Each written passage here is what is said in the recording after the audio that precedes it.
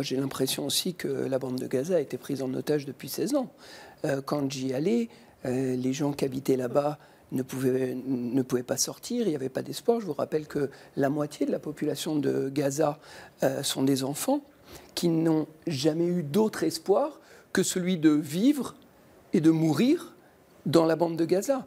Et donc aujourd'hui, pour essayer de prendre un peu aussi de recul et de distance euh, sur cette question et sur le conflit, c'est quel est l'objectif à moyen et à long terme? Comment est-ce que l'action politique va accompagner le militaire? Parce que euh, l'action militaire n'est qu'une branche du politique. Et donc, s'il n'y a pas euh, de, processus politique de, paix qui est enclenché en, parallèle aujourd'hui de, ces actions militaires. On voit déjà la bande de Gaza qui a été détruite euh, à moitié.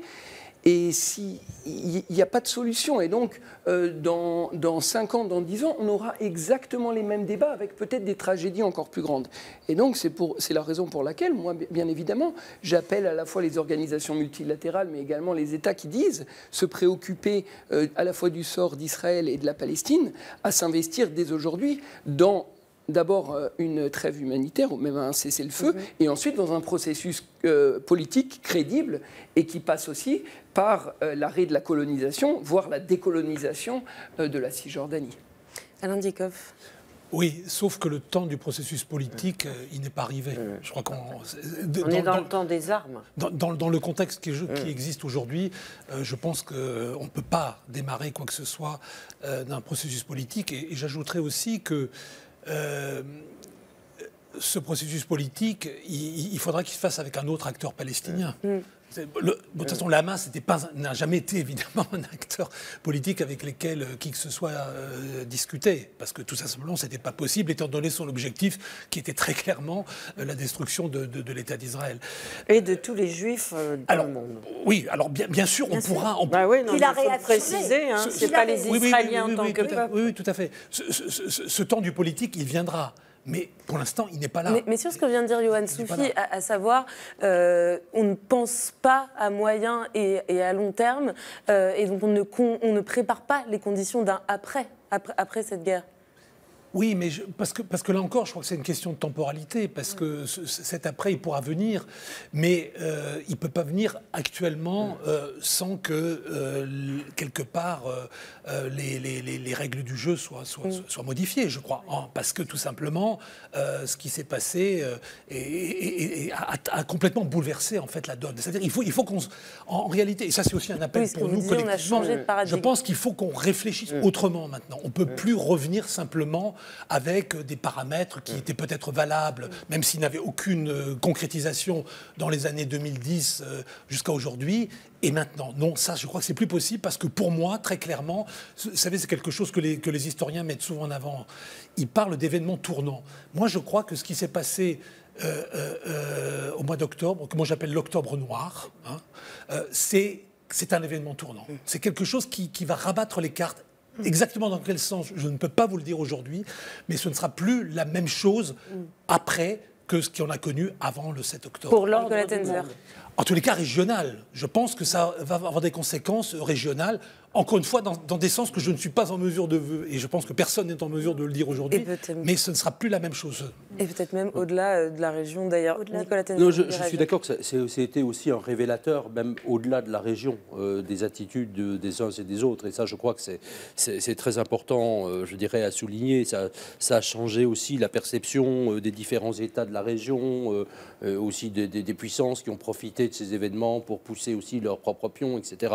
Maintenant, c'est vrai également que sur cette situation-là, il faut voir qu'il y a eu un sous-investissement total de la communauté internationale. Alors, quand je parle de communauté internationale, c'est-à-dire concrètement des grands États, et d'abord de l'État qui peut quand même le plus dans la région, qui sont les États-Unis, de manière évidente, parce que c'est ce sont les États-Unis qui ont un poids sur Israël que euh, les pays de l'Union européenne n'ont pas.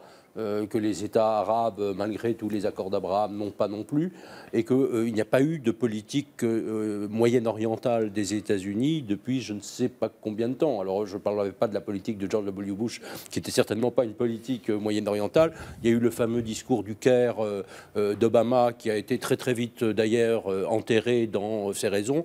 il y a eu un abandon total de la part des États-Unis de la Syrie, une absence totale de maîtrise aussi des politiques des monarchies du Golfe et effectivement un désintérêt complet de cette situation. Et aujourd'hui, nous sommes effectivement, alors on va dire c'est effectivement depuis l'assassinat de Rabin, etc., mais on est dans une situation où nous n'avons pas d'interlocuteur, ni du côté israélien avec euh, Netanyahou et avec la progression de l'idéologie ultra-religieuse et d'extrême droite dans ce pays, ni, et je ne fais pas de vraiment parallèle entre les deux, évidemment du côté de Hamas, d'une autorité palestinienne qui est vraiment à bout de souffle avec Mahmoud Abbas, avec aussi un certain nombre, j'en connais un certain nombre d'intellectuels, d'économistes, de, sociologues palestiniens euh, de premier rang, et qui sont partis qui sont partis parce qu'évidemment, ils ne supportaient pas nécessairement, euh, je dirais, la, colonisation ou le, joug israélien, admettons, mais ils ne supportaient pas non plus euh, la corruption, euh, les règlements de compte meurtriers dénoncés par toutes les organisations internationales humanitaires,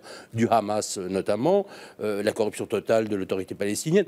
Et donc aujourd'hui, comment est-ce qu'on va pouvoir États-Unis et Union européenne essayer de reprendre et exercer un tout petit peu de contrainte sur ces partis. Mais c'est vrai que tant que le Hamas est là, on ne peut non plus rien faire. Bien sûr.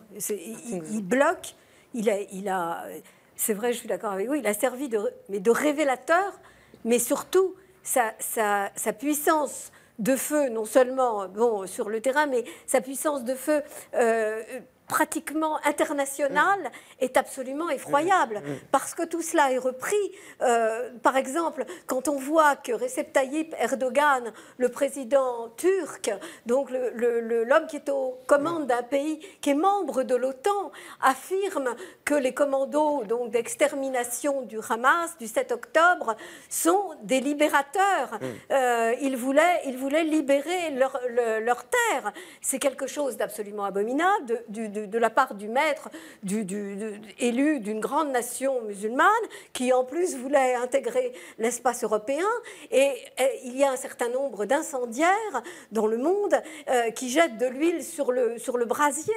Bon, euh, c'est vrai que Poutine, en accréditant la thèse que finalement euh, les, les, hauts faits barbares du, Hamas devraient être enseignés dans une école militaire, a, contribue à, à, semer l'horreur. Regardez ce qui vient de se passer au, Daghestan, où finalement euh, il y a eu. Y a Région de, Russie, dans le Caucase. En Russie, voilà, République musulmane du Caucase, à majorité musulmane, où il y a eu euh, des foules entières qui se sont précipitées, qui ont investi l'aéroport à l'annonce d'un avion qui venait d'atterrir depuis Tel Aviv et ils voulaient lyncher les passagers. Donc qui a contrôlé ça? Euh, dans, quelle, dans quelle faille, là encore, être très ordonné et coordonné, euh, ce lynchage strictement antisémite euh, s'est introduit, on voit bien que dans le monde entier, euh, cette affaire terrible et, l'amalgame, encore une fois, monsieur, entre la, cause palestinienne, dont, enfin personnellement, moi, j'appartiens à un journal qui, depuis 20 ans, soutient cette, solution pour les droits des Palestiniens et une solution libre et digne pour un, pour un État. Mais Alain Dichkov disait tellement justement qu'on est effectivement à un événement tournant que nous ne pouvons plus parler comme ça. Mais justement, cette cause palestinienne, le fait qu'elle était amalgamée à celle d'une organisation terroriste et barbare comme le Hamas et qu'il n'y ait pas eu un mot pour condamner, euh, c'est quelque chose, c'est quelque chose d'effroyable et qui jette de l'huile sur le feu de la haine anti-juive partout dans le monde. Nous ne pouvons pas euh, rester les yeux fermés, bien sûr pas ici, mais partout devant ce qui est en train de se passer. Alain Dikoff et puis Yohann Soufi juste après. Oui, alors je voudrais juste euh, rebondir sur, sur un point qui a été évoqué, c'est sur les, conséquences régionales. Parce que ce qui est très frappant, c'est que ceux qui sont les plus euh, vigoureux défenseurs, non pas de la cause palestinienne, mais, mais bien en effet du, du, Hamas, c'est paradoxalement, mais en réalité, quand on connaît un peu l'histoire de la région, de l'évolution des 15 dernières années, c'est pas si paradoxal que ça. Ce sont deux États non arabes, la Turquie et l'Iran. C'est eux qui sont euh, un petit peu les, fers de lance et, les plus véhéments défenseurs finalement du Hamas aujourd'hui. Alors que grosso modo, je ne parle pas de la population, mais dans les États arabes avoisinants, je dirais que les, les gouvernants ont été plutôt relativement modérés. Ils n'ont pas du tout été sur cette position-là. Hein, de, Alors bien sûr, ils n'ont pas reçu Biden parce qu'il y avait une pression de l'opinion publique également. Mais ils, ne sont pas, euh, la Jordanie ou l'Égypte, euh, allés dans cette, dans, cette voie véhémente que, Erdogan a eue en, en, parlant... La reine, la reine Rania de Jordanie, euh, tout de même, a accordé une interview à, CNN, à Christiane Amanpour de CNN, et elle n'a pas dit, elle a, elle a dit qu'elle remettait en cause la véracité des, des, massacres du 7 octobre, et elle a, elle, a donc adopté une position euh, extrêmement euh, dubitative et tout à fait surprenante de la part d'une reine de, moderne, enfin qui, qui et ce qu'elle dénonçait, c'était ce qui est selon elle un deux poids deux mesures, un double standard. Elle est palestinienne dans un pays de la part des occidentaux envers, enfin, lorsqu'ils regardent la situation entre Israël et la Palestine. Yohann Soufi. Oui, pour moi, c'est ça qui est une grille de lecture extrêmement importante. Et vous parliez de rupture, je pense qu'elle est là, la rupture. Le fait que des États et des États notamment autocratiques, des régimes autocratiques, instrumentalisent la cause palestinienne, c'est pas nouveau.